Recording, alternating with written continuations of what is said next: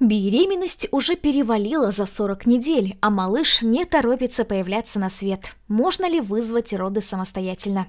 По форумам и мамским сообществам гуляет много мифов и народных способов сделать это. Однако большинство из них не работает, а некоторые даже опасны.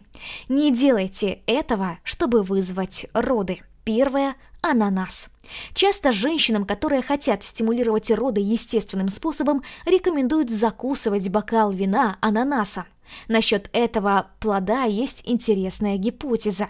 Якобы все дело в содержащемся в нем ферменте бромелаине. Этот фермент расщепляет белки, именно из-за него жжет во рту. Считается, что бромелаин каким-то образом попадает в матку, раздражает ее и заставляет сокращаться, тем самым вызывая схватки. Научных подтверждений этой гипотезе нет. Единственное, на что способен ананас во время беременности, это усилить изжогу. Второе – ходьба и подъем по лестнице. Физическая активность полезна на любом сроке беременности. Она помогает поддерживать себя в форме, бороться с чрезмерной прибавкой веса, улучшает течение беременности и способствует более легким родам. Однако ходьба, равно как и преодоление лестничных проемов и езда на машине, не ускорит наступление родов. Не стоит надеяться, что это поможет растрясти матку и быстрее появиться ребенку на свет. Третье – мужетерапия. Многие женщины уверены, что секс помог им стимулировать роды. Есть даже некоторые гипотезы, почему так происходит. Считается, что во время полового акта пенис мужчины стимулирует шейку матки, а просто гландины, которые содержатся в сперме, способствуют расслаблению тканей и раскрытию маточного зева. К тому же в организме женщины выделяется гормон окситоцин, который тоже стимулирует роды. На самом деле нет никаких доказательств того, что секс может ускорить наступление родов. Половые контакты безопасны на любом сроке беременности. Они не могут привести к преждевременным родам или каким-либо осложнениям. Но не стоит заниматься сексом после того, как отошли воды, так как это повышает риск инфицирования. Четвертое – алкоголь. Возможно, вы слышали, что вызвать роды помогает бокал вина. Сейчас вы будете удивлены. Раньше алкоголь, напротив, применяли для того, чтобы задержать преждевременные роды.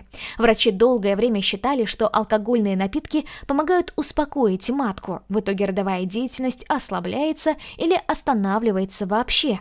Но даже такая точка зрения – это уже прошлый век. В 1981 году ученые решили сравнить эффект алкоголя с постельным режимом, который играл роль плацебо. И оказалось, что обе процедуры влияют на срок родов примерно одинаково.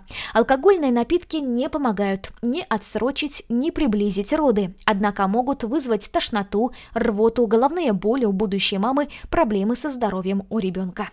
Пятое. Касторка. В силу касторкотерапии верят даже некоторые акушеры и гинекологи. Принято считать, что сокращения кишечника могут перекидываться на матку. Дополнительным стимулом для начала родовой деятельности становится обезвоживание, ведь из-за диареи организм теряет приличное количество жидкости. Кроме того, касторовое масло усиливает действие простагландинов, физиологически активных веществ, которые вызывают роды. Данные научных исследований на этот счет неоднозначны. Исследование, проведенное в 2000 году с участием сотни женщин, показало, что у будущих мам, принимавших касторовое масло в ближайшие 24 часа, с большей вероятностью начинались роды. Другое исследование в 2009 году, в котором приняли участие уже 600 беременных, не выявило какого-либо эффекта. Одно известно точно. Стимуляция родов касторкой небезопасна. Сильная диарея и обезвоживание могут причинить вред как самой будущей маме, так и ребенку, не говоря о массе не самых приятных ощущений после приема слабительного. Шестое – акупунктура. Иглоукалывание относится к методам альтернативной медицины. Существование меридианов, акупунктурных точек и энергии ЦИ никак не доказано. Многие ученые считают, что дело в эффекте плацебо. Иглорефлексотерапию применяют в разных сферах медицины, в том числе для стимуляции родов, но данные научных исследований не подтверждают этого эффекта. Седьмое – гомеопатия. Некоторые женщины прибегают к гомеопатическим препаратам как к естественному и безопасному способу стимуляции родов. Проблема в том, что гомеопатия не работает в принципе, это доказано многими исследованиями. В развитых странах гомеопатические препараты вообще не считаются лекарственными средствами, их не регистрируют контролирующие организации. Гомеопатия не стимулирует роды, не улучшает их течение, не помогает бороться с болью и другими симптомами. единственный эффект, на который можно рассчитывать от этих препаратов, это эффект плацебо. Нет никаких научных доказательств того, что роды помогают вызвать какие-либо биологически активные добавки или травяные чаи. Кстати, некоторые из них небезопасны во время беременности. Ученые единодушны в том, что не существует безопасных и эффективных домашних методов стимуляции родов. Единственное верное решение при перенашивании беременности – это наблюдение у врача. Если доктор посчитает, что ваша беременность затянулась и пора бы индуцировать ее логическое завершение, он предложит по-настоящему эффективные методы.